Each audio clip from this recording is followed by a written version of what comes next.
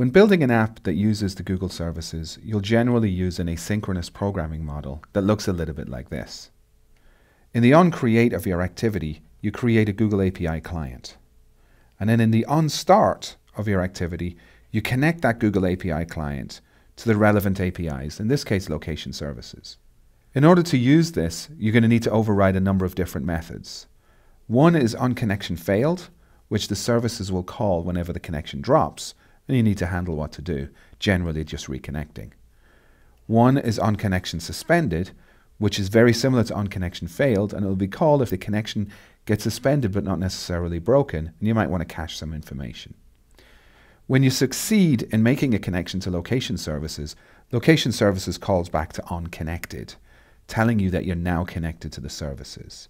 And in the case of something like location, you then create a location request that you'd pass to location services to get your location details back, and it would call you back with on location changed, letting you know that your location request details have changed and there's new location information available to you, and you'll get a location object, which you can then use to write to your screen.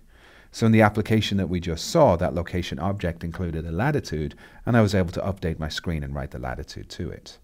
Now, this programming model isn't just limited to location services. As I've said, many of the services that you'll be using during this course follow a very similar programming model to this. You're going to have an onCreate and an onStart.